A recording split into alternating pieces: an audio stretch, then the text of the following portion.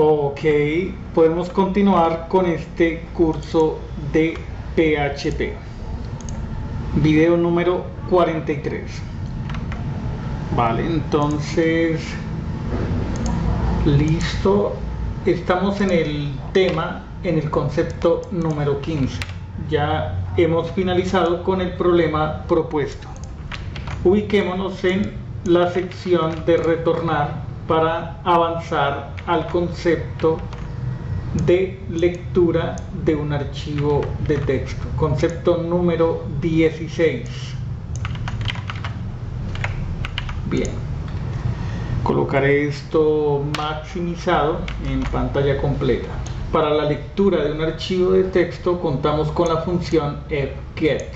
Además debemos abrir el archivo para lectura. Esta es, digamos, eh, una de las primeras diferencias respecto al proceso que vimos anteriormente, el de escritura. El archivo se abre en modo lectura, read en inglés. Read. Eso es lo que quiere decir la R ahí. Entonces, ¿qué decimos? Creamos una variable, esa variable será el manejador, será el apuntador al archivo datos que estamos abriendo, datos.txt. El primer argumento corresponde con el nombre del archivo. El segundo argumento, R, es el modo de apertura. Es el modo de apertura para leer datos. Si algo sale mal, supongamos que no hay eh, el, archivo no existe, ha habido una falla al momento de localizar ese archivo, entonces la ejecución de PHP del script se termina de forma abrupta, morir, die. No se puede abrir el archivo. Para leer utilizamos eh, creamos una variable y con get leemos el contenido de ese archivo, del archivo que está referenciado con la variable art. Es preferible llamar a los archivos, eh, a las variables, los identificadores con, con palabras completas. No se agota el teclado. Veamos cómo mostrar por pantalla el contenido del archivo datos.txt creado en el punto anterior el archivo página.1 PHP. Es muy sencillo, observemos. Vale, entonces abrimos el archivo, si hay falla se reporta.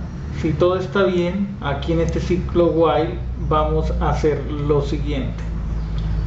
Leemos la línea actual, leemos el contenido y si aún hay contenido por leer, por eso establecemos ese ciclo while indeterminado. No sabemos cuándo va a terminar. Va a terminar cuando ya se alcance el final del archivo. Cuando decimos que no conocemos, no sabemos el final, la terminación del while, es porque de antemano no se conoce el número de líneas que tiene eh, el archivo, al menos que abramos ese archivo en algún editor de texto plano y contemos, visualicemos el número de líneas.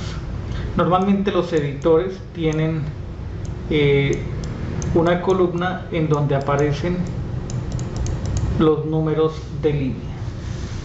Por cada iteración se muestra un contenido textual en pantalla. Cuando finalice el ciclo, cerramos el archivo. Bajemos un poco, aquí hay una explicación eh, detallada de lo que ocurre ahí. Em, listo.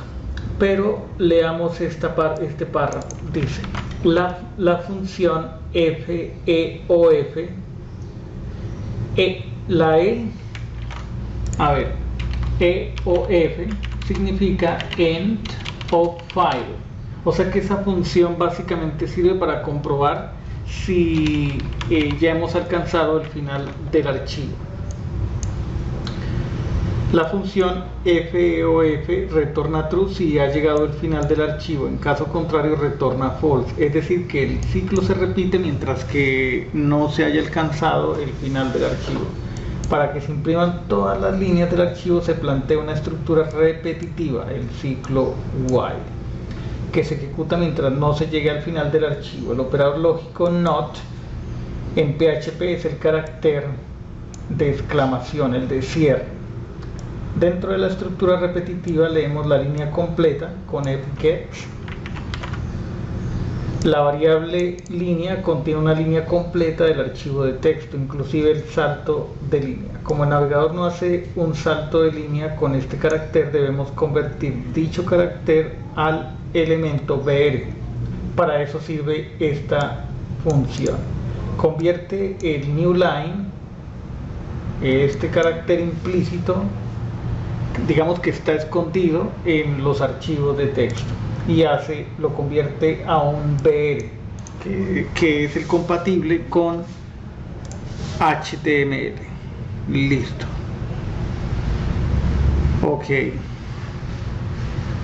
La variable, ta, listo, el resultado se almacena en una variable que es la que realmente imprimimos. Línea salto. Ok. Entonces, em, podemos reproducir este código. Nos dirigimos al ID. Ok, creemos aquí la carpeta S16 archivos lectura ahí creamos un archivo de php demo 01 archivos lectura.php pegamos el código que tenemos en el portapapeles si lo alcanza a copiar a ver. Listo. Ahí está. El archivo datos no existe. Por ejemplo bueno primero hagamos un commit de y escribamos aquí apertura de un archivo en PHP. Ok, si ahora, ahora mismo ejecutamos este, mm, este archivo, voy a copiar la ruta relativa, recordemos que es necesario tener el servidor en ejecución y PHP este comando se utiliza gracias a la variable global de PHP. Bien, entonces eh, regresemos al navegador. Eh, aquí en esta pestaña observemos que aparece un warning, dice open datos.txt falla al abrir el flujo. No hay un archivo directorio en esa ruta que se llame demo01 archivos lectura.php. El error se reporta en la línea 9 y notemos además notemos además que se imprime el mensaje no se pudo abrir el archivo. O sea lanza un warning y con el die mostramos ese mensaje.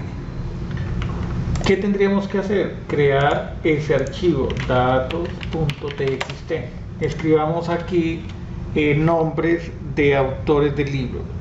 Mario Mendoza Víctor Hugo, mm, Balzac,